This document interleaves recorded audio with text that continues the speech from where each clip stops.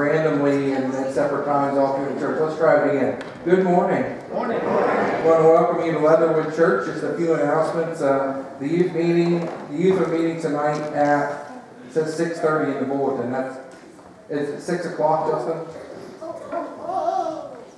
Yes, 6 o'clock. So that should be youth meeting tonight at 6 p.m. Um, there's a sign-up sheet for snow camp. It's on the back table. Uh, I think we're right around 140, 145 that have signed up so far. Uh, we have to have a minimum of 150, which I don't think will be a problem. Um, but there is a maximum of 200. So if you're not signed up and want to go, please get signed up to go. Uh, also, there's a, a, meeting for all the leaders that are going to snow camp on Monday, uh, tomorrow at the First Church of God on Robertsburg Road at 7 o'clock. We are still in need of female counselors. I don't know why it is every year, but we always have the male side is always filled with counselors and have extra counselors, and ladies side is always in need, and we're always begging. So if you are a female over the age of 21 and, and would like to go, we need you. So uh, come talk to me, and we'll get you signed up to go. Uh, also, down here, down front, uh, we are collecting books for Uganda, and uh, so uh, we've got several of those. Also, uh, Dan and Maria Hurlbrink got a hold of us, and they are trying to collect toys and candy canes for their orphanage in Romania. So we have a sign down here for books and a sign down here for toys. So you can bring new and gently used toys or books in for the next couple of weeks. Um, actually, I think it's yeah, we've got two weeks left in January, so uh, you can bring them in and uh, and uh, for Romania or for Uganda. Uh, the next Ministries Council meeting is Monday, January 27th at 7 p.m. Does anyone else have any other announcements? All right, let's open with a word of prayer. Heavenly Father, we so thank you uh, for the privilege of being able to come and be in your house today. Father God, we thank you that we can come freely to worship you, to hear from you, to learn from you. And Father God, we ask you to just bless this time as we come into your presence. And it's in Jesus' name we pray. Amen. Good morning. Let's go ahead and stand and we'll worship together.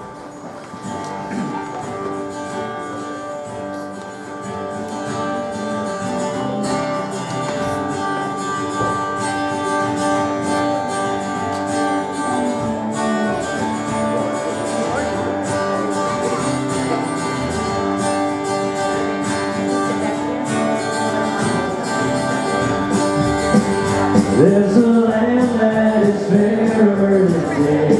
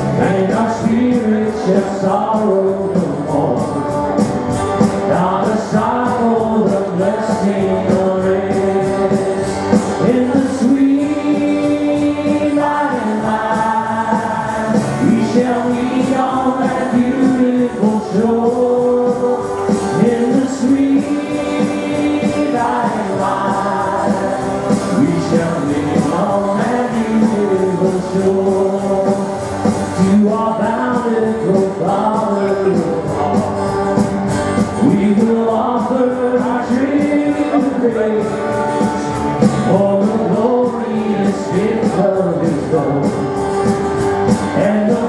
meet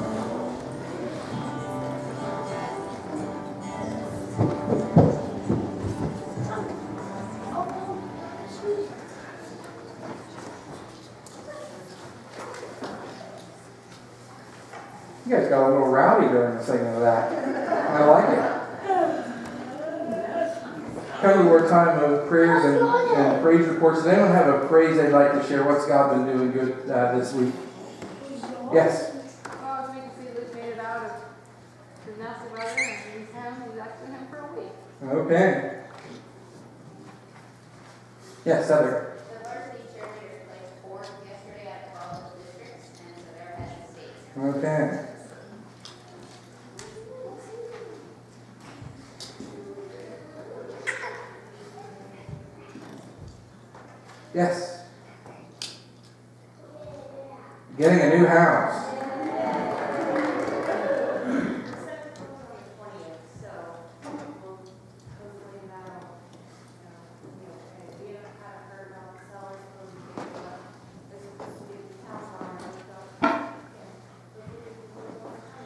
Okay. Yeah, I asked Justin when the move would be, and he said, oh, around the first of March, he thought. It's not concerned about anything. And I said, that'd be a perfect weekend to move since we'll all be at snow camp. And just need Tracy to, to do everything herself. Okay. Um, praise for family and friends who pitched in and helped me out with my broken foot this week. And praise that the kids are all healthy. We're Okay. all sick, but the kids are all healthy. Okay. Um, and prayer for, I think my boards for the practitioner on Thursday, so please pray that I actually pass.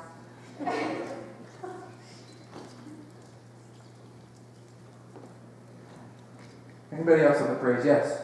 I heard said in front, she came to us from Ferdinand, North Carolina. Okay.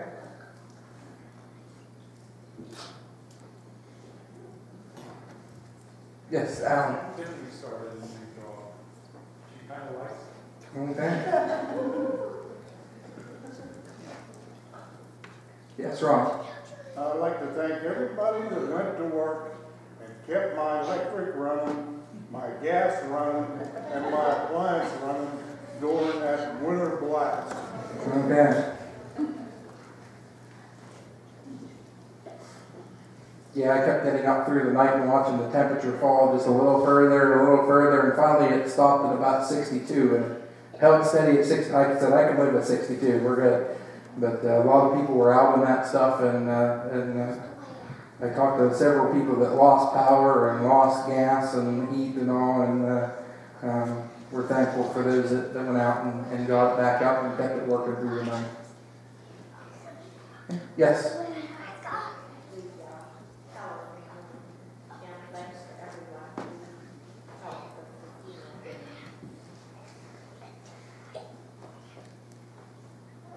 team. Any other prayer requests? Dave, I know, goes uh, to have his back surgery on Tuesday uh, down in Pittsburgh. So remember Dave.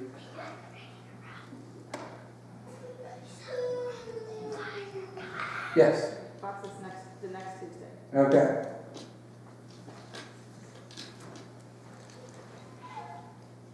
Yes, in the back. Okay. Yes.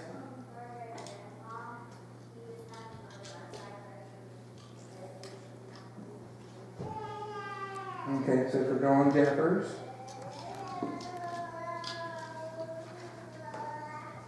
Yes.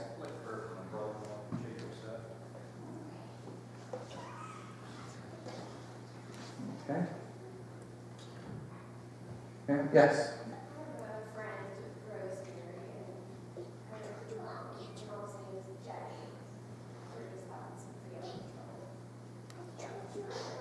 Okay. Yes. Uh, for Bob, he's having cataract surgery tomorrow, or Tuesday.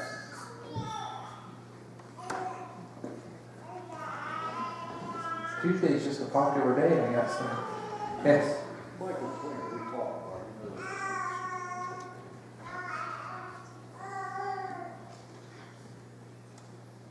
know, Anyone else? Let's take these to the Lord in prayer.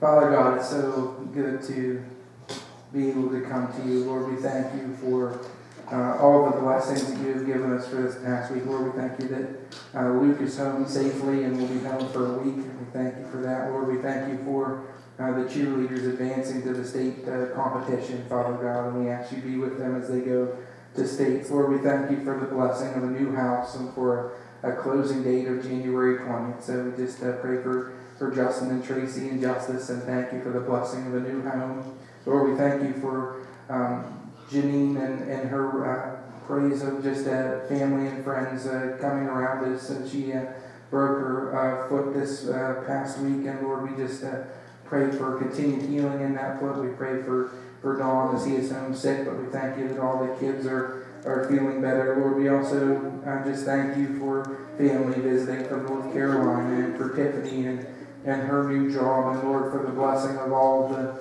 the workers who were able to go out and keep our heat on and keep our electric on, and, and, and, and uh, we just thank you for the job that they did.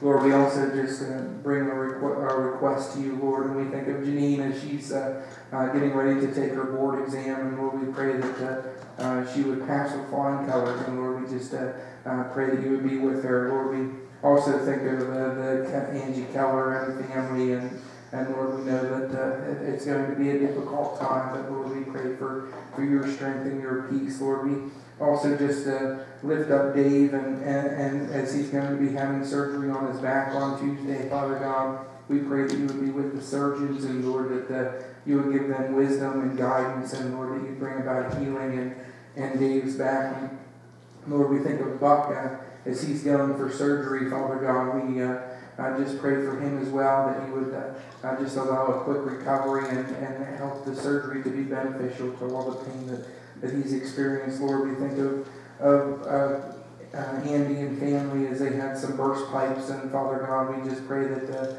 uh, uh, you'd give uh, uh, wisdom in fixing them, and, and Lord, just allow this repair to, to take place quickly and and and efficiently. Lord, we also think of Don Jeffers.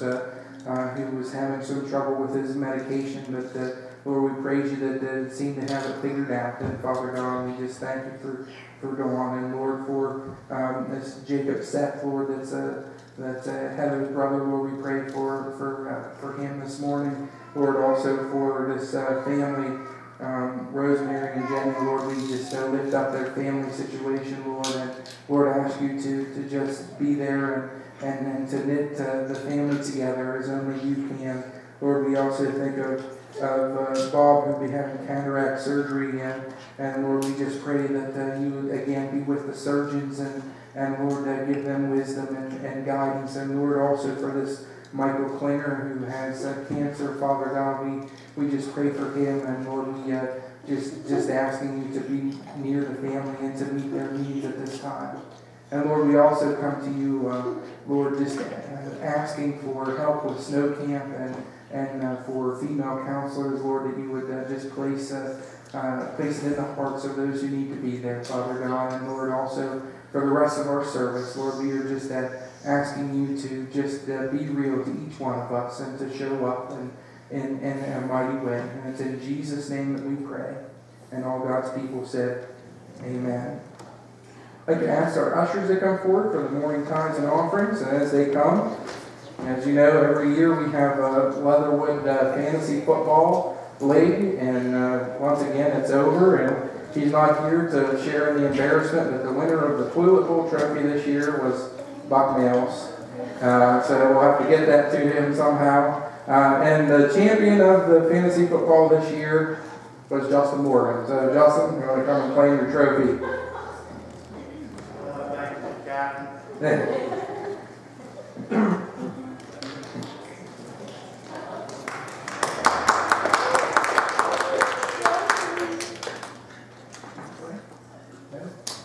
You're up, Dad.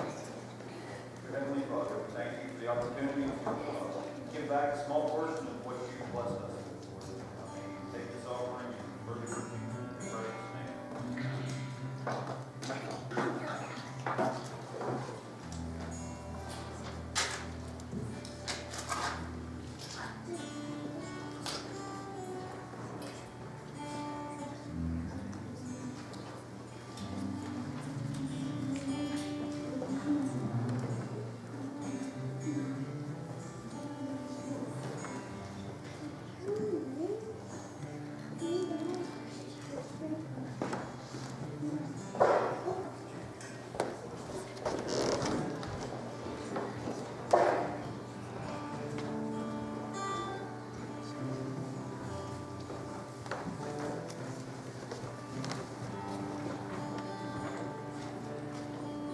Let's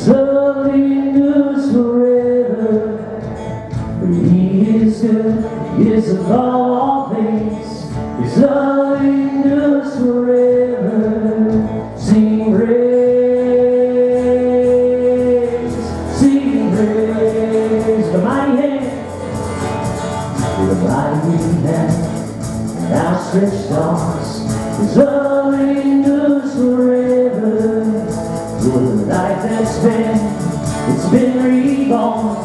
His love endures forever.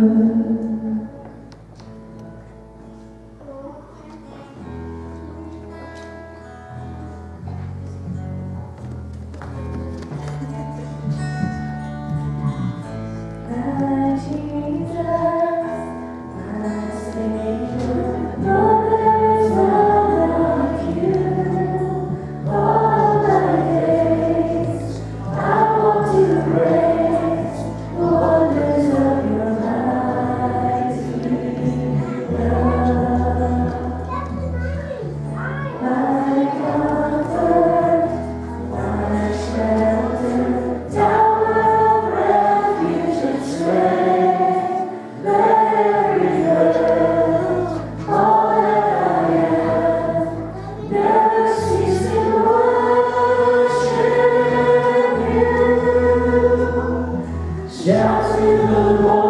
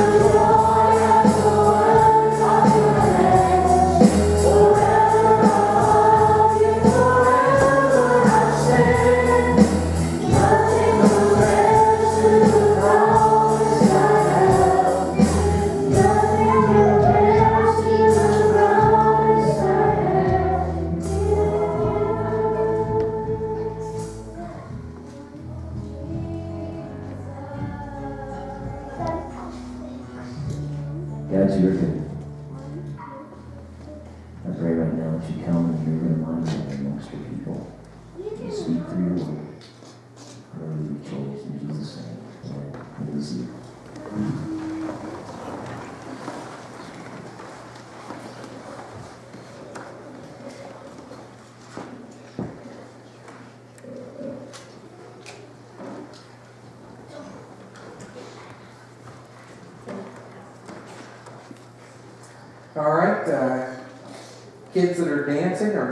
downstairs with Miss Heather, and also Kim's class was going downstairs. So uh, I guess kids are dismissed at this time.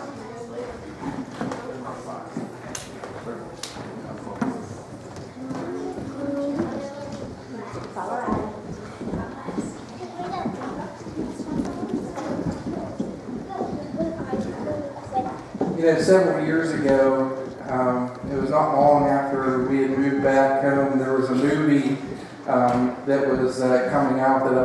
forward to now. Uh, when we lived in Robertsdale, we didn't go to the movies much, not because we didn't want to go to the movies, but just because to go to the movies required an hour commitment of a drive one way uh, to go to a movie theater. But this one, no way. This one was one that we were looking forward to, so go ahead.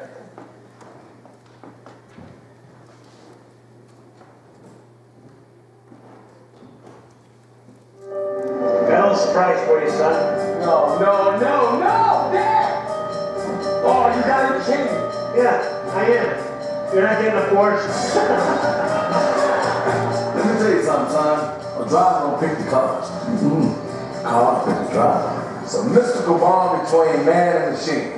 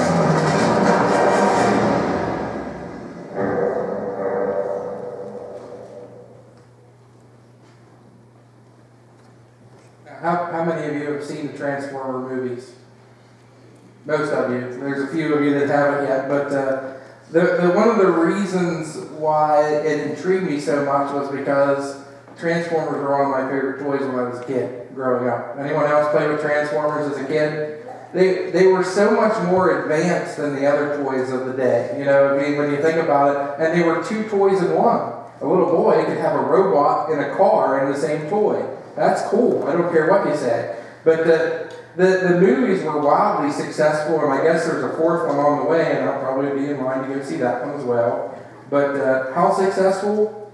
The three movies, $700 million, $800 million, and $1.2 billion respectively. That's pretty successful. That's a good chunk of change.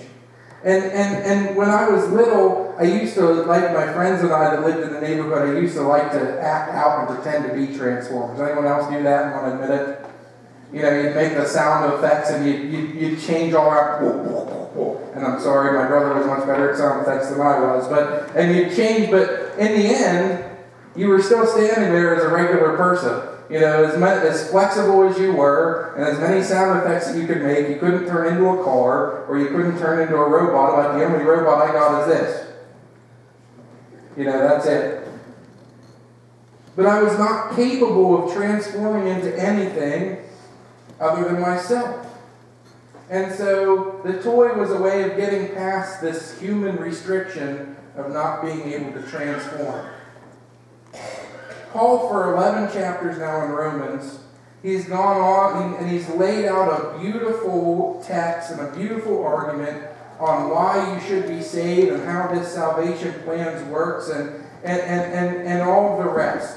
But starting in chapter 12, Paul starts to describe the differences that this text should have on your life. And Paul starts to, to put in practical application that should allow you to change.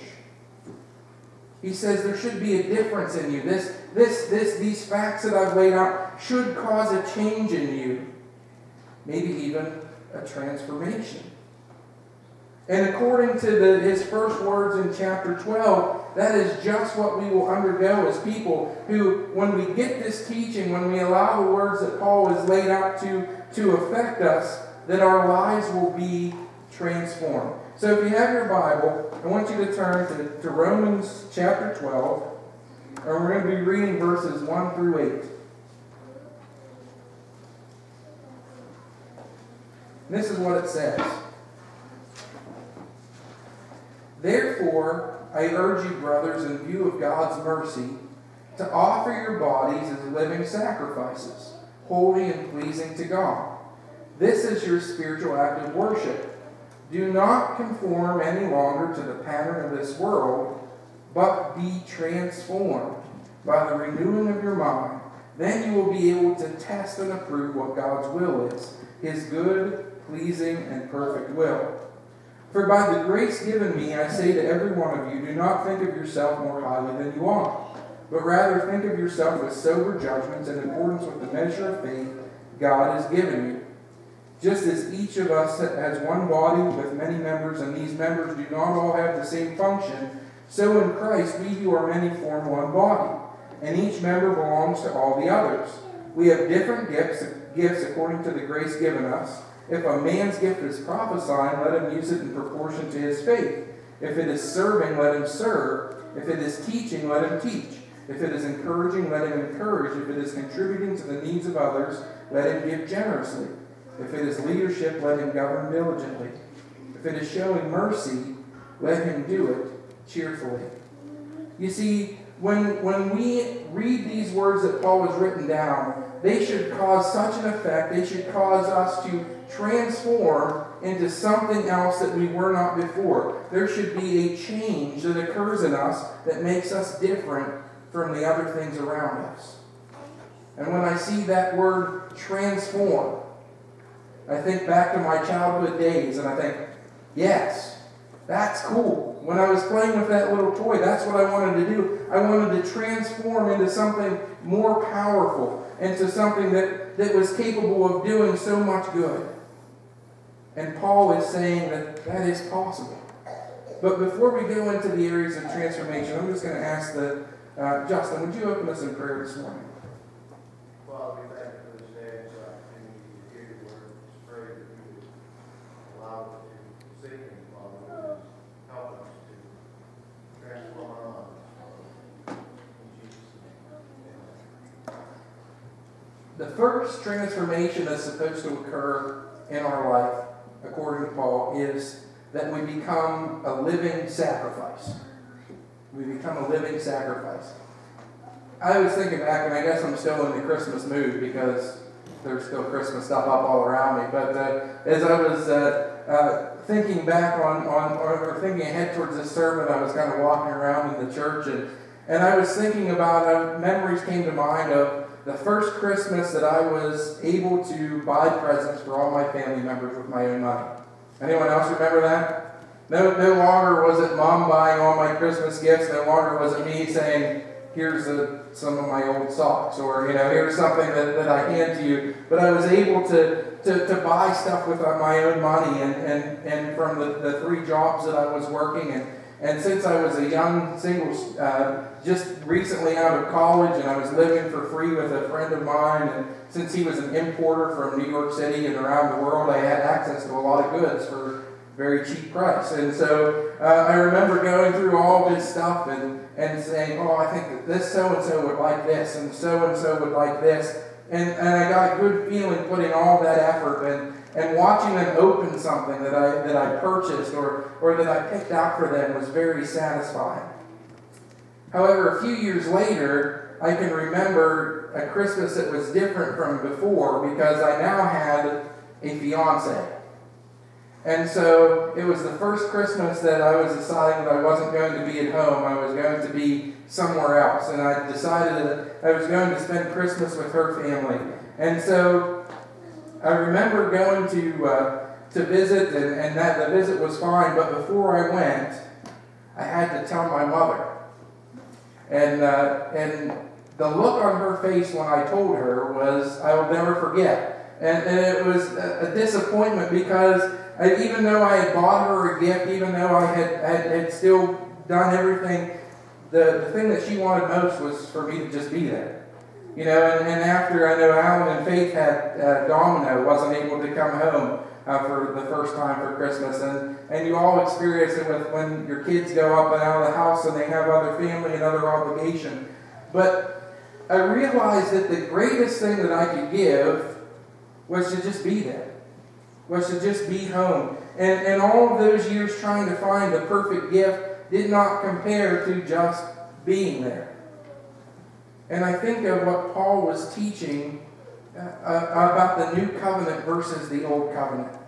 This is what he's been getting at. In the Old Testament, whenever you messed up, you had to, to pick out the best of your flock, or the, the best of your of your harvest, or or the best thing that you had, and you brought it and you harvested it, or you brought the animal and you brought it before the Lord and you gave it to him as a gift. And and, and, and it had to be put to death. And, and, and it was your way of saying, I'm sorry, God, or I'm, I'm thankful for, for this, God. And, and, and it was all well and good. But with this new covenant, this new, uh, this new thing that Paul's talking about, the gift was different. Look at what Paul says in our scripture. He says, Therefore, I urge you, brothers, in view of God's mercy, to offer your bodies as living sacrifices, holy and pleasing to God. This is your spiritual act of worship. You see, the gifts that you bring to God has changed under this new covenant. No longer did he want your animal. No longer did he want your crop. No longer, no longer did he want any of those things. What did he want? He wants you. He wants you to bring yourself and offer yourself as a sacrifice unto him. And it's not like the old sacrifice that had to be put to death before He placed it on the altar. He says, I want you to place yourself on the altar to be a living sacrifice to me. What does that mean? Being a living sacrifice means you're no longer your own. It means you take your rights and the things that you want and the things that you desire and you lay them at the feet of Jesus. And you say, no longer what I want, what I desire, but Jesus, what you want and what you desire is what my life is going to be about. We give him ownership of us as our gift to him to do as he sees fit. And this is our first act of transformation because it goes against so much of what we were before. When we wanted to, to just be ourselves and do our thing. Instead, we come to him and say, God, I'm yours. You see, he calls us this, this first act of transformation is supposed to be our spiritual act of worship. But if you look at the into to the older scriptures, into the older translations, it says it is our spiritual service of worship. So being a living sacrifice means that you are giving the gift of serving to the Lord. According to Scripture, love, it leads to obedience.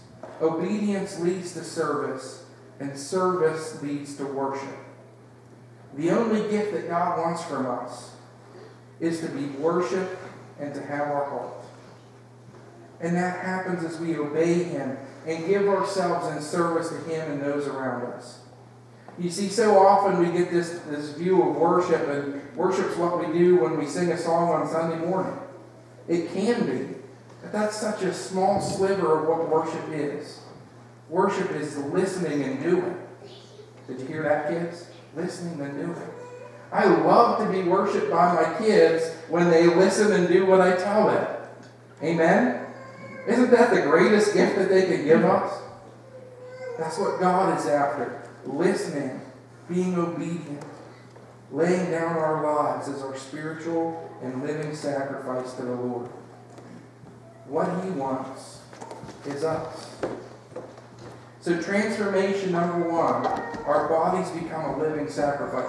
Transformation number two is that we have a renewed mind. You see, once we have laid our life down, once we give up our rights, our wants, our desires, and that will transform the way that we live, the next thing God wants is our minds. This is from the scripture from this morning. He says, Do not conform any longer to the pattern of this world, but be transformed by the renewing of your mind. Then you will be able to test and approve what God's will is, his good, pleasing, and perfect will. You know, a, mind that is transformed and renewed by God is a beautiful and very dangerous thing. Would you agree or disagree with that? Because before we gave our lives to God, our minds are controlled by things like fear and things like doubt and things like worry. Anyone else have trouble with the fear and worry and doubt controlling your thoughts and your minds? I guess I'm the only one. And our minds and, our thoughts are controlled by what other people will think. Anyone else have a mind that's controlled by what other people think? But when you are become a Christian, when you become and you enter into this new covenant, we get to rid ourselves of the fear and worry that's in our head.